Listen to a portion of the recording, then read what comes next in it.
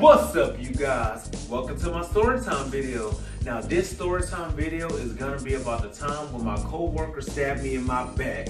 Now this all happened back when I was working at Long John Silver's and before y'all say anything, yes I know, I bring up Long John Silver's in almost all of my story times. But hey, I can't help it. I mean, it used to go down up at Long John Silver's and I still got a whole bunch of more story times about Long John Silver's. Stay tuned for those stories. But anyway, let's continue on the story. So I was a team leader at Long John Silver's, in case you haven't noticed from my previous story time videos, and I was helping out at different locations. And at this particular location, I had met two wonderful people, and I was helping out the store manager. And the store manager, I'm gonna call her Emily. So my first day at her location, she said, "How are you doing, Charles? My name is Emily." I said, "Hey, nice to meet you, Emily." And let me introduce you to my cook. Come on over here. So I'm walking over there and I see the cook. She at the cooking station. She said, this is my cook, Deborah. I said, hey, nice to meet you, Deborah. She said, hey, nice to meet you, Charles. Emily says she's gonna be my team leader one day. And uh, it's gonna be two weeks for me to train her. And after two weeks, you can go back to your location. I said, oh, okay, only two weeks, two weeks. And she's my number one cook and she follows instruction and she knows how to do just about everything. I said, oh, that's good. She said her customer service skills is excellent. I said, oh, that's good. She said, and my other team leader, she was just a pain in the neck. I said, why did she quit on you, Emily? Oh, she had a bad attitude. First of all, she was stealing money. She didn't want to follow instructions. She wanted to do what she wanted to do. And I said, if you don't like it, go somewhere else. She said, fine, I just want to come back to work. That's why you here, Charles. I said, oh, okay, so I'm her replacement. Yeah, you her replacement, temporarily, because Deborah gonna take over in two weeks. I said, okay, so make me proud, Charles. I sure will. So me and Deborah was working together, and I used to love working with Deborah. Deborah used to have me laughing. She was just a wonderful person with a great spirit. She had a beautiful spirit. I used to love working with Deborah all the time. And so, two weeks had passed by, and she went to go take her team leader test at another Long John Silver's. And a week after that, we had got an email saying that she was not certified to be a team leader because she had a misdemeanor on her background. So she was very upset. She was just crying like, I really want to be a team leader. Emily say, it's all right, Deborah, it's gonna be all right. Don't worry, Deborah, I'ma still give you your 40 hours. Thank you so much. Thank you so much, Emily. I really want to be a team leader so bad. So, you know, that really hurt her. So a few months after that, business was slowing down and hours was getting cut. And of course, Deborah wasn't making the same amount of money that she was making when I first started helping out at that particular location. And so Deborah was just struggling. And so she finally just backed down and she just had to just break down and ask me for $20. She said, Charles, can I please borrow $20? I don't normally ask people for money, but can I please borrow $20? I promise, Charles, I promise I'll pay you on next pay period. I don't want to ask Emily for it because I just can't stand her. She's such a freaking large, so I can't stand that heifer, that dirty snake. I said, well, I got you, Deborah, no problem. Thank you so much, Charles. So I gave her $20. She said, I promise I'll pay you back on next pay period. I said, I believe you. So we got paid. She paid me the $20. And a week later, she said, Charles, can I borrow another $20? I promise I'll pay you back on next pay period. Gave her $20. On next pay period, she paid me back. So it was like a pattern. And so she got tired of asking me for money. She said, you know what, Charles, I gotta do something about this. I gotta find me something different.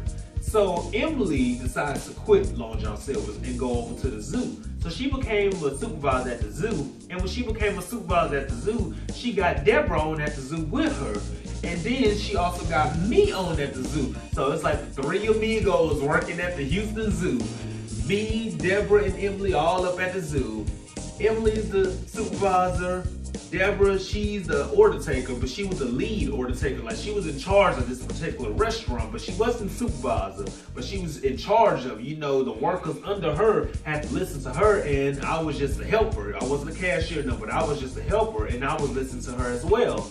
So Emily had got fired a few months of me working at the zoo. And after Emily got fired, Deborah just started talking about her so bad, talking that's what she get. Glad she got fired. I said, Deborah, how can you say something like that? Oh, I'm just glad she got fired. Charles, you can't give away a whole bunch of free food to some people that used to work at the zoo and not think that you're not gonna get in trouble. You think just because you're a supervisor act like a supervisor. She, she's just stupid. She's stupid. She wants to be everybody's friend. You can't be everybody's friend when you're in that position, Charles. What is wrong with her, Charles? I said, I don't know. If I ever became a supervisor, I'm not gonna try to be anybody's friend. I said, yeah, I feel you on that. So Emily got fired and she had got another job, you know, like two weeks after that. So I was proud of her that she got another job. And then a couple of weeks after her getting a new job, something very, very drastic happened in my life. My mom passed away.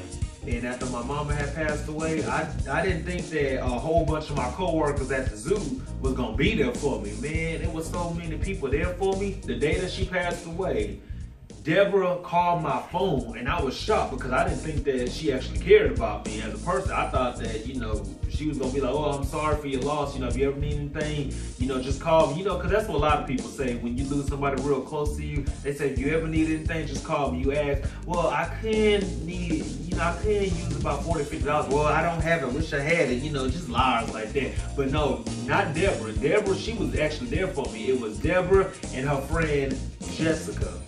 Jessica and Deborah, they was there for me when my mom had passed away. They actually took me out to Pappas Seafood at my previous job that I used to work at.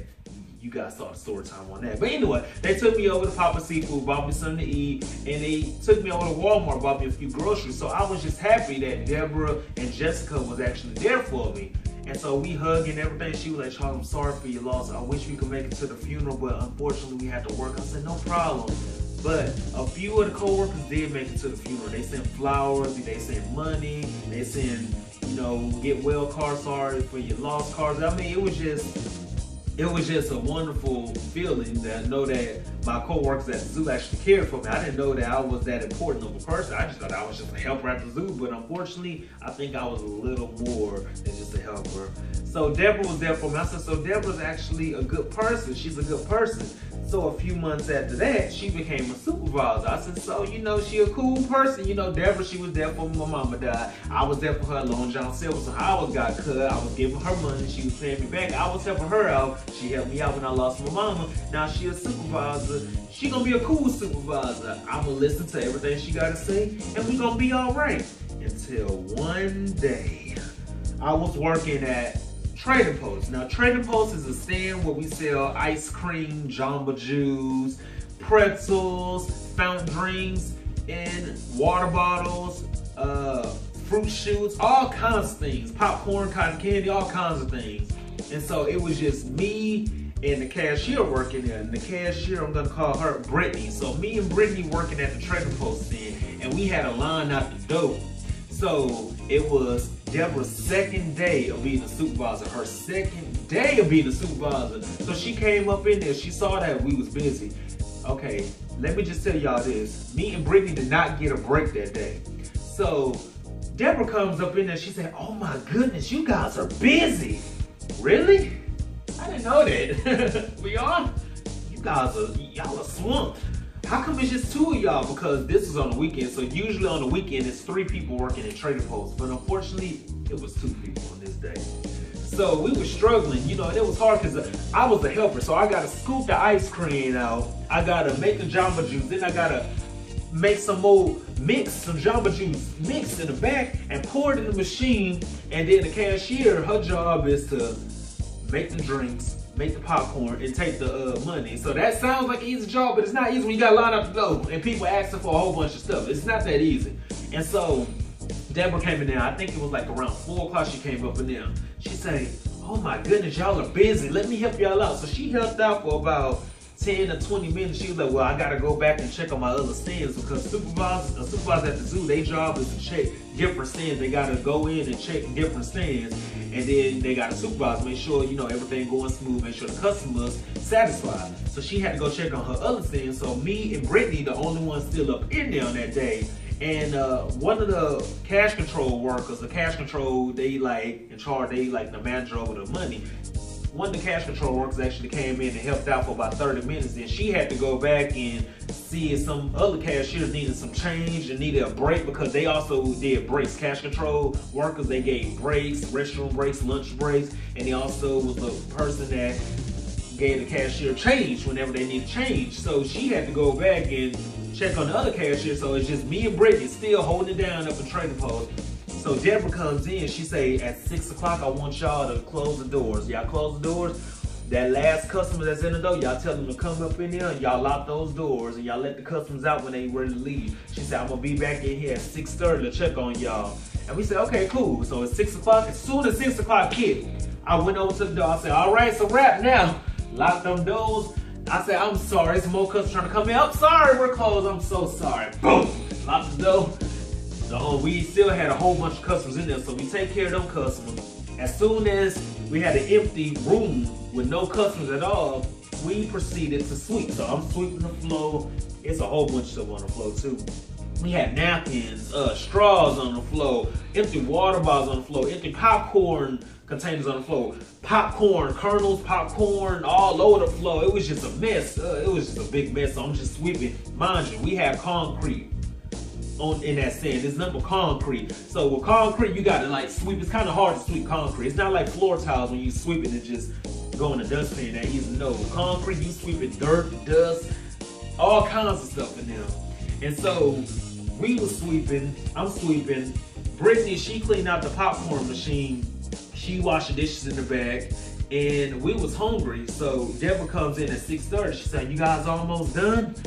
We weren't nowhere close to being done. I say, no, we're not almost done, but I am a little hungry. Mind you, the zoo closes at 7 o'clock, so it's 6.30. She closed down at 6 o'clock, but it was just us two. We trying to sweep, we trying to fill up the Jamba Juice machine and everything. And she said, well, I'm gonna get y'all some chicken tenders. So she go to the restaurant, get us some chicken tenders and french fries. We eat and working, eat and work, and wash dishes and eat.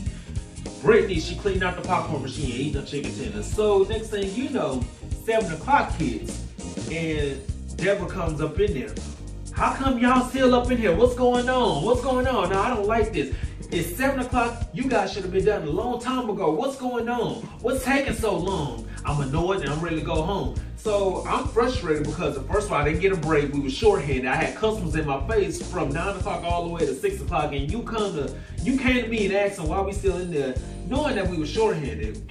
And so Brittany got an attitude. Brittany was like, well, what you mean while we still here? It's just me and Charles working. You know, we gotta wash the dishes, we gotta fill up the Jamba Juice. I don't wanna hear that. Don't both of y'all talk to me at the same time. Make sure y'all clean up this place and hurry up and get out because I'm ready to go home. I said, I don't know who you think you talking to, but you got the wrong one. You got the wrong one. I said, don't forget where you came from. I say, because at Long John Silver's, you couldn't even be a team leader. So you got lucky and got the position up at the zoo as a supervisor. So don't forget where you came from because I used to be your manager. I said, you done made me mad now well, if you want to have that attitude, you can go home. I said, you know what? You sure right. So I had the broom I threw down on the floor. I said, I'm going home. I'm out of here. I'm out of here. I ain't got time for you. You ain't lost your mind. You don't know who you talking to. You ain't lost your mind. You lost your mind. You don't know who you're dealing with. So I, I walk on now and I'm power walking. I'm power walking over to the office. I'm mad as hell. She done pissed me the hell off. So I walked over to the office. I get to the office. The manager say, Charles, come to my office. I said, oh, you know what? I want to talk to you anyway because I'm mad. I said, Deborah that made me mad. He said, calm down. Take a seat. I said, no, I'm not finna sit down. I said, because my blood boiling. I need to stand up because the adrenaline pumping right now. I need to stand up and I need to tell you, I, I'm, I need to tell you what kind of supervisor you got. Okay, just tell you this, Charles. She's my supervisor. You have to respect her. I said, well, she needs to respect me because to give respect, you gotta earn it well, you're just a helper. I said, excuse me, I'm just a what? You're just a helper. She's my supervisor. I said, okay, well, just because she a supervisor, that mean that she not lying? That mean that she telling the truth? Nah, nah, nah, nah, nah. Okay, so I I believe her. Her word is against yours. You need to listen to her. I said, so you're not gonna write her up? You gonna write me up? Did I say I was gonna write you? I said, you know what, fine, then I don't wanna talk about it, I'm done. I said, and you better hope I show up to work tomorrow. It'll, it'll be a cold day in hell if I show up to work tomorrow. I said, you know what, I can't let nobody mess my money. I will show up to work. You know, the next day at work, she didn't even bring it up. She just apologized about, you know, just for being a complete idiot, you know, but she didn't bring up, you know, the hatred that she had towards me. But we had a good day, and she was those kind, that type of person that talk about you in front of your face. I mean, behind your back and smile in your face. But I found out that she was talking about me months later, saying that I was like a female, I gossip like a female and everything. I'm like, what she talking about gossip like a female? And when I confronted her about it, I said, yeah, a coworker telling me that you've been saying I gossip like a female, so You got something to say to me? They're lying. Trust, I did not say that. Don't believe them. They're lying. I said, well, you used to talk about Emily behind her back when she worked here. So, no, no, they're lying. They're liars. They're liars. So to make a long story short, I don't work at the zoo no more, and I blocked Deborah on Facebook. I don't want nothing else to do with her. And she didn't even believe in God. She believed in witchcraft. Every time I used to say, you know, that's a blessing, she used to always say, don't talk to me about that God stuff. Don't talk to me about that God stuff. I believe witchcraft. I believe witchcraft. Don't bring that God stuff up to me. So a person like that don't need to be in my life. So you guys, I really hope you enjoyed this story time when my coworker stabbed me in my back. Really, she didn't really stab me in my back. She was just the person that talked talked about me behind my back and she forgot where she came from and thought she could talk to me in kind of way, but I wasn't having that. But anyway, I hope you guys enjoyed this story and stay tuned for more story times. Like, comment, share, subscribe, and just have a wonderful day. Peace out.